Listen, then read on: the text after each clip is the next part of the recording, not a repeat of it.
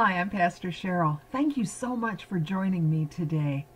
The message today is titled The Magi of the Christmas Story. Now, the Feast of Epiphany occurs 12 days after Christmas, and some Christian traditions celebrate this feast by placing the figures of the three kings into their nativity scenes. Some even delay putting up the Christmas tree until Christmas Eve to symbolically light the way for Jesus, and then put away all the decorations on Epiphany to mark the end of the traditional Christmas time. We're probably all familiar with the Christmas carol, We Three Kings. The song tells of three kings from the Orient traveling to find the Christ child as they follow the star of wonder to Bethlehem. But were there three kings? What are the Magi? And, and did they show up with the shepherds in the manger scene as our nativity sets depict? Well, today we're going to take a look at the traditions surrounding Epiphany and the political atmosphere of Jesus' day. But first, before we get into the message, please join me for a word of prayer. Heavenly Father, I thank you for these folks who are listening to this message. Lord, I thank you for the message that you've given me. I pray, Lord, that the Holy Spirit would touch the hearts of every single person within the sound of my voice. And Lord, I pray that their lives would be changed for eternity because of the words that you have given me. We give you all the glory in Jesus' precious name. Amen. Okay, today's text is Matthew, starting in chapter 2, verses 1 through 12. I am reading from the Amplified Bible. Now, when Jesus was born in Bethlehem of Judea, in the days of Herod the king, or Herod the Great, Magi, wise men from the east, came to Jerusalem asking, Where is he who's been born the King of the Jews? For we have seen his star in the east and have come to worship him. When Herod the king heard this, he was disturbed, and all of Jerusalem with him. So he called together all of the chief priests and scribes of the people and anxiously asked them where the Christ, or the Messiah, the Anointed One, was to be born.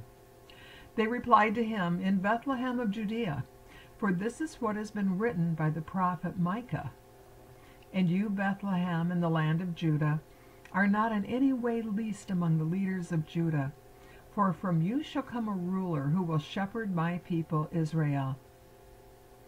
Then Herod secretly sent for the Magi and learned from them the exact time the star had first appeared. Then he sent them to Bethlehem, saying, Go, go search carefully for the child, and when you found him, report to me, so that I too may come and worship him. After hearing the king, they went their way, and behold, the star which they had seen in the east went on before them, continually leading the way, until it came and stood over the place where the young child was. When they saw the star, they rejoiced exceedingly with great joy. And after entering the house, they saw the child with Mary his mother, and they fell down and worshipped him.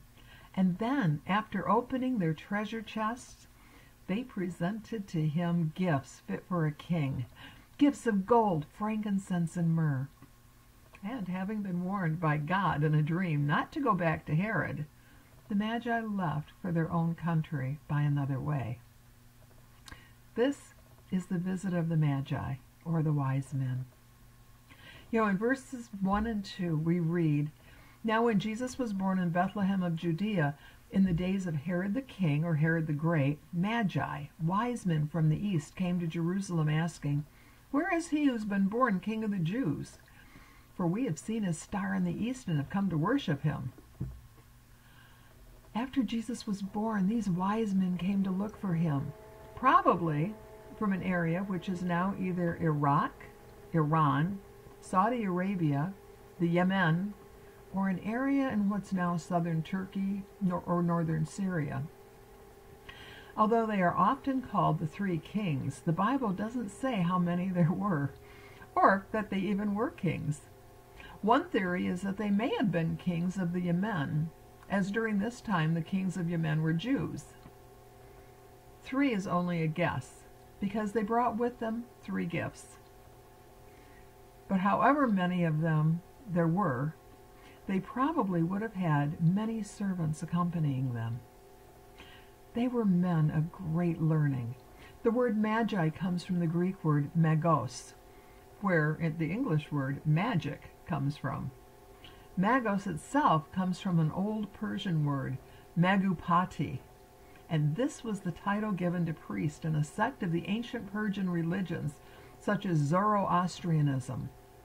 Today, we'd call them astrologers. But back then, astronomy and astrology were part of the same overall studies and was considered science. And it went hand, they went hand in hand with each other. The Magi would have followed the patterns of the stars religiously. They would have also probably been very rich and held in high esteem in their own society as well as by people who weren't from their country or their religion. The Magi would have known about the prophecies of a special Jewish Savior, also known as the Messiah, from when the Jews had been held captive in ancient Babylon several hundred years before. Now, scholars believe that their visit occurred when Jesus was between 40 days and two years old. The visit from these wise men show us that Jesus is worthy of royal honor from all humanity, and Gentiles as well as Jews are included in God's redemptive plan. Now the Magi naturally went to the court of Israel's reigning king, seeking to worship the newborn king of the Jews much to Herod's distress. Verse 3 When Herod the king heard this, he was disturbed, and all of Jerusalem with him.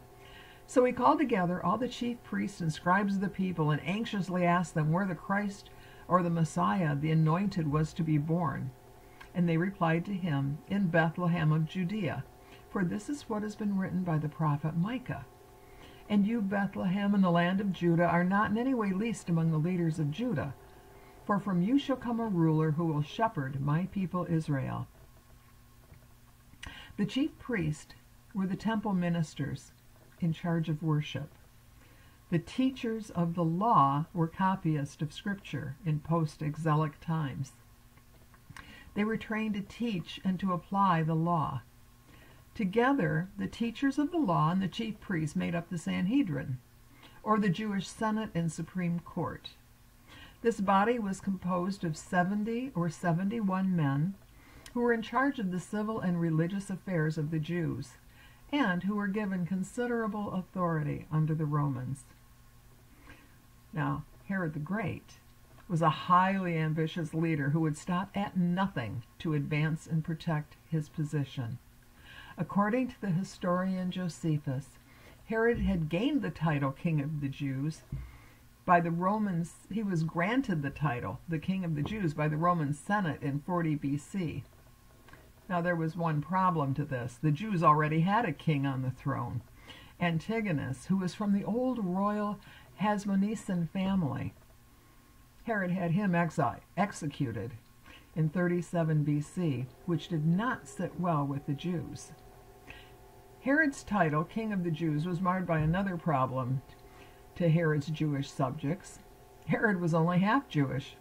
His father was an Idumean from the south of Judea who had converted to Judaism, and his mother was the Arab princess Cypros from Nabatea. Now Herod married Antigonus's granddaughter to bring some legitimacy to his reign, as the Hasmonean family had ruled Israel for many years, and he re- rebuilt the temple in Jerusalem. Despite this, he tried to be a Roman to the Romans as well, by putting pressure on the Jewish nation to accept Roman customs such as Greeks, Greek sporting games and temples dedicated to the emperor. Herod was distrustful, jealous, and brutal, ruthlessly crushing any potential opposition. The Jews never accepted him as their legitimate king, and this infuriated him. He constantly feared conspiracy. He executed his wife when he suspected she was plotting against him. Three of his sons, another wife, and his mother in law all met the same fate when they too were suspected of conspiracy. Herod, trying to be a legitimate Jew, would not eat pork, but he freely murdered his sons and anyone else that he felt stood in his way. This news of a newly born king of the Jews whew, sent Herod into a rage. Verse 7 Then Herod secretly sent for the Magi and learned from them the exact time that the star had first appeared. And then he sent them to Bethlehem, saying, Go and search carefully for this child, and when you found him, report to me, so that I too may come and worship him. Yeah. Jealous and distrustful, ruthless in crushing any political opposition, Herod never intended to worship Jesus. Rather, he wanted to sniff him out and destroy him. Verse 9 After hearing the king, they, the Magi, went their way, and behold, the star which they had seen in the east went before them, continually leading the way until it came and stood over the place where the young child was. When they saw the star, they rejoiced exceedingly with great joy. Know, scientists have been trying to figure out what this Christmas star actually was for hundreds of years. Some seem to think it was a planetary convergence. Others think it was a comet. Still others think perhaps it was a supernova. None of these natural phenomena travel through the sky and then stop in place, which leaves the only explanation of the star being something supernatural. Hubert J. Bernhard, who for many years was a lecturer at San Francisco's Morrison Planetarium, made a series of four LP record albums in 1967, trying to educate and popularize astronomy. They were called the Planetarium Lecture Series, and one of his topics dealt with the Star of Bethlehem. Near the end of his lecture, Bernhard placed this discussion into perspective when he said, if you accept the story told in the Bible as literal truth, then the Christmas star could not have been a natural apparition. Its movement in the sky and its ability to stand above and mark a single building, these would indicate that it was not a natural phenomenon but a supernatural sign, one given from on high and one that science will never be able to explain. Picking it up again in verse 10. When they, the Magi, saw the star, they rejoiced exceedingly with great joy. And after entering the house, they saw the child with Mary his mother, and they fell down and worshipped him. Then, after opening their treasure chest, they presented to him gifts fit for a king gifts of gold, frankincense, and myrrh. You know, it sometimes feels that our nativity sets with the little figurines of the Holy Family, the sheep, the shepherds, and angels, and the wise men with their camels, kind of resembles a Reader's Digest condensed book. All of the key players are there, but the storyline is compressed. When the wise men found Jesus and Mary, they would they would have been living in a normal house, probably in Bethlehem or Jerusalem. Now, it's possible that the Holy Family was living with relatives now that the census crowds had gone home, or in a rented house, assuming that Joseph had found work there to support his family.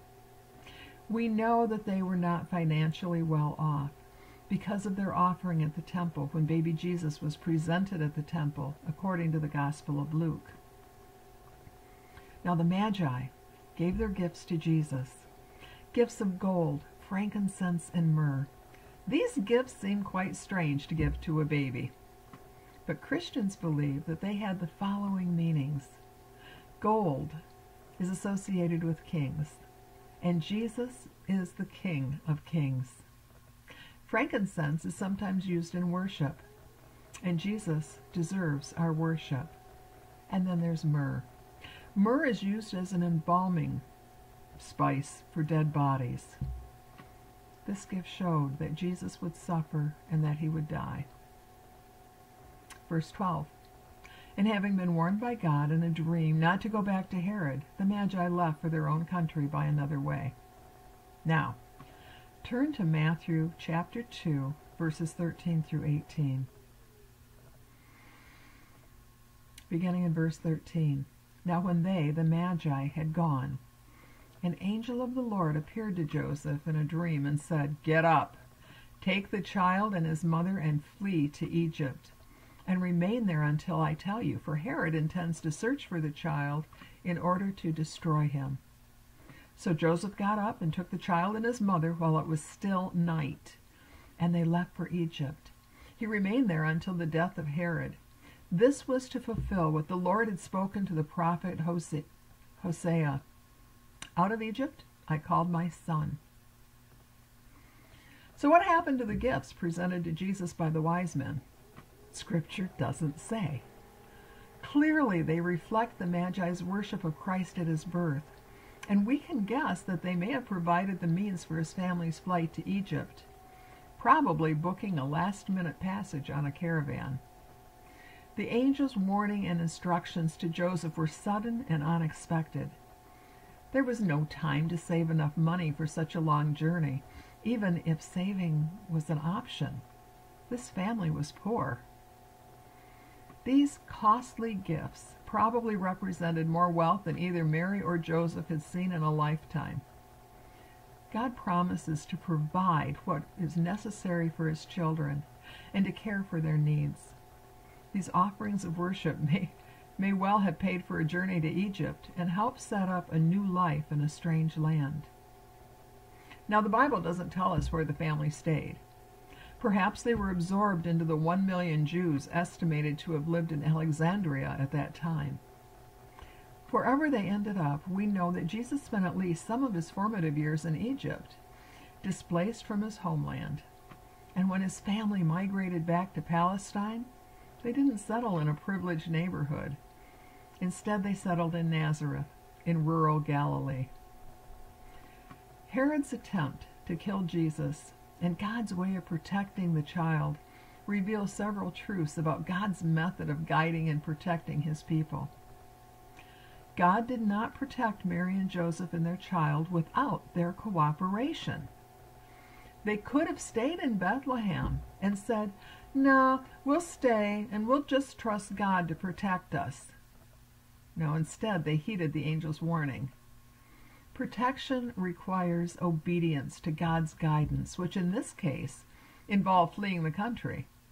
God may allow some things that are hard to understand to enter our lives in order to accomplish His will.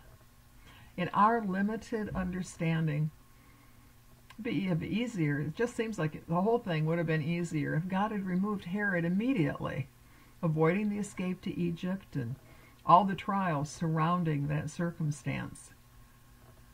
And even after a particular trial is resolved, there may be other problems to face. God's protection and his providential care will always be needed because the believer's enemy never stops his attacks on the faithful.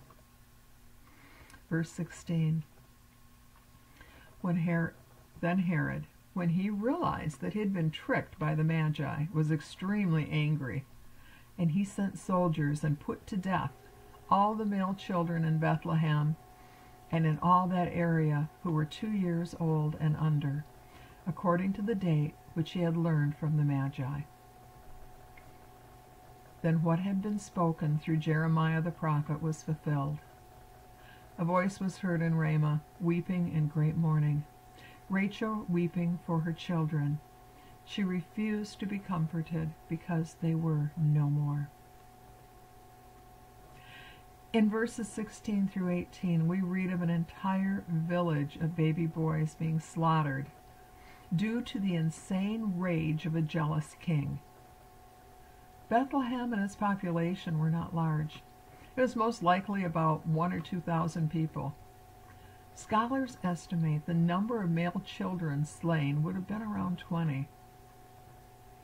The weeping and wailing in Bethlehem must have gone on for days. It could not have been quickly silenced. Now, Jesus can offer particular comfort to those who grieve the loss of a child. In effect, the babies of Bethlehem died for him he must have carried that pain, the pain of that throughout his life and onto the cross. It most likely shaped his special concern for children. Expressing grief is an important part of our healing. You know, today some people wish to appear strong and they try to hide their feelings. Expressing our grief can help us deal with our intense sorrow when a loved one dies. Our grief can also place us at the crossroads of our faith, shattering many misconceptions about God, such as, well, God will make you rich, He will always keep you from trouble and pain, and He will always protect your loved ones. God may not keep us from troubles and trials, but He will walk with us through them. Know that Jesus understands our grief. We serve a God who cares. So today we've looked at the political world which Jesus was born into, the incredible gifts from the Magi and how they provided for the Holy Family's flight to safety as well as Herod's unreasonable slaughter of innocent children as he tried to murder the newborn king of the Jews. We've also seen that God's protection requires our obedience, that we will always need God's protection, and that He will walk with us through our trials. Do you seek the newborn King of the Jews? Do you worship Jesus? Is He your Lord and Savior? He's no longer the baby in the manger or the little child receiving gifts from the Magi. In fact, he is seated now at God's right hand, interceding for us, and will return any day now for his bride, the church. I want you to be a part of that. But you must first ask Jesus to be your Lord. You must repent of your sins, and you must promise to follow him, living life by his rules. Now, if the Holy Spirit is knocking on your heart right now, please pray along with me. Dear Jesus, I know I'm a sinner. Please forgive me of my sins. Please become Lord of my life. Help me live by your rules. Please save me. Amen. If you prayed this prayer for the very first time today, please email me at cherylpickford at gmail.com. I want to help you get started in your new walk with Jesus. So we wrap up this wonderful Christmas season with Epiphany. And I hope that next Christmas, when you set up your nativity scene, you take a moment and reflect on today's message. Until we meet again, May God bless you abundantly.